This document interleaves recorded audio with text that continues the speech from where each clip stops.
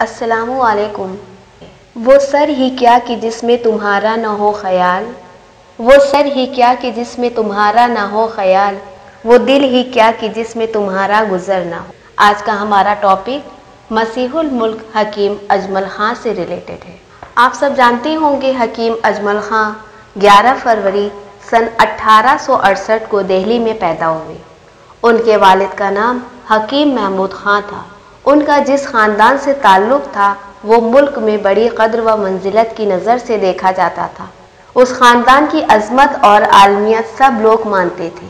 اس میں حکیم، عالم، صوفی اور دانشور پیدا ہوتے رہتے تھے اور اپنی قابلیت اور صلاحیت کا اظہار کرتے رہتے تھے۔ لیکن جو شہرت، عزت، دولت اور عظمت حکیم اجمل خان کو ملی، وہ کسی دوسرے کے حصے میں نہیں آئی ابتدائی عمر میں انہوں نے قرآن مجید حفظ کرنے کی سعادت حاصل کی، پھر مختلف زبانوں کی تعلیم حاصل کی، جس میں اردو، عربی اور فارسی شامل ہیں۔ انہوں نے علم طب کی تعلیم اپنے والد حکیم محمود خان بڑے بھائی حکیم عبد المجید خان اور چشا زاد بھائی حکیم غلام رضا خان سے حاصل کی اور اس میں مہارت پیدا کی۔ انہیں مطالعہ کا شوق بچپن سے ہی تھا۔ وہ مختلف زبانوں میں مختلف موضوعات پر کتابوں کا مطالعہ کیا کرتے تھے، جس میں منطق و فلسفہ کے علاوہ وہ دیگر علوم بھی شامل تھے۔ طب کے فن میں انہوں نے بہت کم عمری میں مہارت پیدا کی اور اٹھارہ سو بانوے میں جب وہ چوبیس سال کے ہوئے تو نواب رامپور نے ان کو طبیب خاص کے عہدے پر مقرر کیا۔ تقریباً نو سال وہاں قیام رہا، یہاں رہ کر انہیں اپنے مطالعے کا شوق کو پورا کرنے کا وقت مل گیا۔ اور اردو، فارسی اور عربی تینوں زبانوں میں عبور حاصل کیا۔ وہ عربی زبان میں روانی سے گفتگو کرتے تھے اور اسے لکھنے پر بھی انہیں عبور حاصل تھا۔ نواب رامپور نے حکیم اجمل خان کو ریاست کے تب خانے کا افسر اعلیٰ بھی مقرر کیا۔ اس کتب خانے کے بارے میں حکیم صاحب نے ایک جگہ لکھا ہے کہ اس میں بارہ ہزار چار سو اکیاون کتاب مختلف زبانوں میں موجود تھیں۔ انہوں نے ہندوستان کے تین کتب خانوں کا ذکر کیا ہے، جن میں ایک خدا بخش کتب خانہ جو کہ پٹنہ میں ہے اور دوسرا بھوپال میں نواب صدیق حسن کا کتب خانہ اور تیسرا ریاست رامپور کا کتب خانہ ہے۔ ان میں رامپور کا کتب خانہ سب سے بہتر ہے۔ اس میں اسلامی معلومات کا خزانہ جمع ہے۔ رامپور کے اس کتب خانے کی بنیاد نواب فیض اللہ خان کے زمانے میں رکھی گئی۔ ان کے زمانے سے نواب احمد علی خان کے زمانے تک کوئی قابل قدر اضافہ نہیں ہوا۔ اس کے بعد کتب خانے کو نواب یوسف علی خان اور نواب کلب علی خان کے زمانے میں بہت ترقی ہوئی۔ نواب حامد علی خان نے اس کی ترقی میں زیادہ دلچسپی لی اور اس کے لیے ایک الگ عمارت تعمیر کرائی۔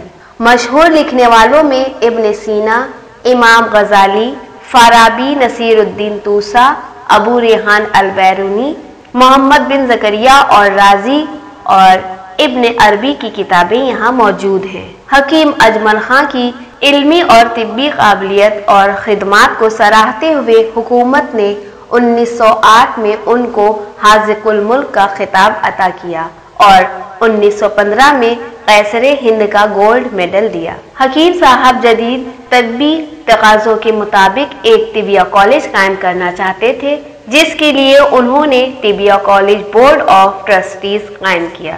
مارچ انیس سو سولہ کو لارڈ ہورڈنگ وائسرائے نے دہلی کے کرول باغ علاقے میں طبیہ کالج کی عمارت کا سنگ بنیاد رکھا۔ تقریباً پانچ سال بعد کالج کی بڑی اور شاندار عمارت کی تعمیر ہوئی۔ سن انیس سو اکیس میں حکیم صاحب نے مہاتما گاندھی کو کالج کی افتتاح کے لیے دعوت دی۔ یہ وہ زمانہ تھا جب حکیم صاحب قومی سیاست میں بہت سرگرم تھے۔ مہاتما گاندھی مولانا محمد علی اور مولانا شوکت علی کے ساتھ کالج آئے اور فروری انیس سو اکیس کو انہوں نے کالج کا افتتاح کیا۔ گاندھی جی نے اپنی افتتاحی تقریر میں کہا تھا، میں حکیم اجمل خان صاحب کو ہندو مسلم اتحاد کا عالم بردار خیال کرتا ہوں، جس کے بغیر ہم کوئی ترقی نہیں کر سکتے۔ اگر وائس رائے سے کالج کا افتتاح کرایا جاتا تو یہ دعوت نہ صرف منظور ہوتی، بلکہ خیال تھا کہ پانچ لاکھ روپے نقد اور پانچ ہزار روپے ماہانہ رقم کے عطیہ کا اعلان کیا جاتا۔ حکیم صاحب کو ان کے بعض دوستوں نے سمجھایا بھی تھا، لیکن انہوں نے اپنی زندگی کا یہ سب سے بڑا مقصد ملک کی خاطر قربان کر دیا اور تحریک وطن کو نقصان نہیں پہنچنے دیا۔ یہ ملک کی آزادی کے لیے ان کے خلوص اور قربانی کی بہت بڑی مثال تھی۔ Gandhi ji Moti Lal Nehru, Vithalbhai Patel, Sarojini Naidu Madan Mohan Malaviya Annie Besant وغیرہ کالج آیا کرتے تھے اور مختلف پروگراموں میں شریک ہوتے تھے۔ اس طبی کالج سے پہلے ملک میں آیورویدک اور یونانی کے صرف مدرسے تھے۔ دونوں کی تعلیم کے لیے باقاعدہ طبی کالج ہونے کا فخر اسی کالج کو حاصل ہے۔ طبی اور کالج کے قیام کے بعد انہوں نے فن کی ترقی کے لیے دوسرا قدم ایک شاندار دواخانے کے قیام کی شکل میں اٹھایا۔ انہوں نے محسوس کیا کہ یونانی دواؤں کی تیاری میں بہت خامیاں ہیں۔ انہیں دور کرنے اور دوائیں تیار کرنے کے لیے ہندوستانی دواخانہ قائم کیا اور اس کی آمدنی طبیہ کالج کے لیے وقف کر دی۔ اس طرح طبیہ کالج کے لیے آمدنی کا ایک مستقل ذریعہ قائم ہو گیا اور دوا سازی کا بہتر نصم بھی ہو گیا۔ حکیم اجمل خان نے کئی کتابیں لکھی ان کی زیادہ تر کتابیں عربی زبان میں ہیں۔ یہ عربی میں ماہر ہونے کا سب سے بڑا ثبوت ہے۔ انہوں نے عربی میں شاعری بھی کی، وہ فارسی اور اردو میں بھی شاعری کرتے تھے۔ ان دونوں زبانوں پر انہیں عبور حاصل تھا۔ شیدہ ان کا تخلص تھا۔ دیوان شیدہ کے نام سے ان کے فارسی اور اردو کلام کا مجموعہ ہے۔ جب انیس سو بیس میں جامعہ ملیہ اسلامیہ کا قیام عمل میں آیا، تو حکیم اجمل خان کو امیر جامعہ بنایا گیا۔ جامعہ ملیہ کے قیام اور اس کی ترقی کے لیے بھی حکیم صاحب نے بہت محنت کی۔ جامعہ کی مالی ضرورتوں کو پورا کرنا حکیم صاحب نے اپنے ذمے لے لیا تھا۔ حکیم اجمل خان میں حب الوطنی اور قومی جذبہ کوٹ کوٹ کر بھرا ہوا تھا۔ ملک کی خدمت کرنے اور اسے آزاد کرانے سے انہیں کوئی طاقت نہیں روک سکی۔ انہوں نے گاندھی جی اور دوسرے قومی رہنماؤں کے ساتھ ملک کی آزادی کے لیے قومی تحریک میں بھرپور حصہ لیا۔ وہ جلسے جلوسوں میں شریک ہوتے اور ان کی صدارت کرتے۔ حکیم صاحب ہندو اور مسلمان دونوں میں مقبول تھے۔ دونوں ہی ان کی عزت کرتے تھے۔ گاندھی جی نے جب برطانوی حکومت کے ساتھ تحریک عدم تعاون شروع کی، تو حکیم صاحب نے اس میں حصہ لیتے ہوئے حاضق الملک کا خطاب حکومت کو واپس کر دیا۔ قیصر ہند گولڈ میڈل اور دوسرے میڈل بھی واپس کر دیے۔ سن انیس سو اکیس میں حکیم اجمل خان کو کانگریس کا صدر منتخب کیا گیا۔ انہوں نے خوش اسلوبی کے ساتھ صدارت کے فرائض انجام دیے۔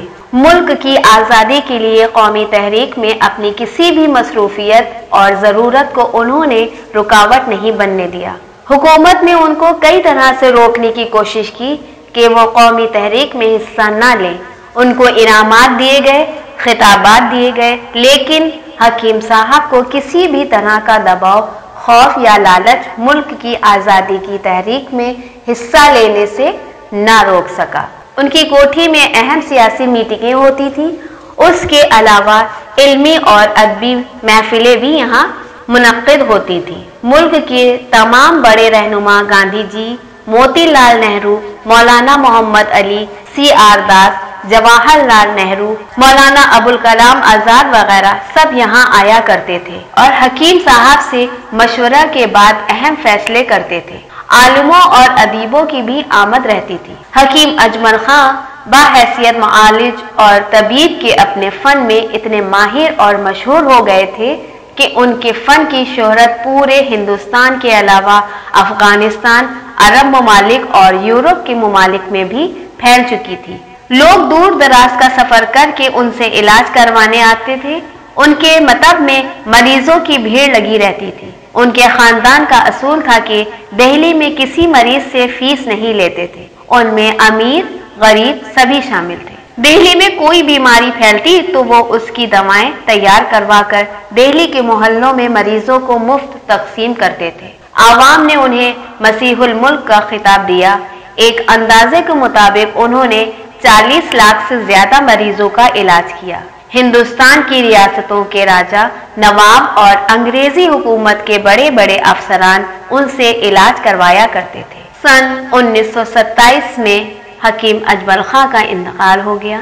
انہوں نے اپنی تمام عمر ملک اور قوم کی خدمت میں گزار دی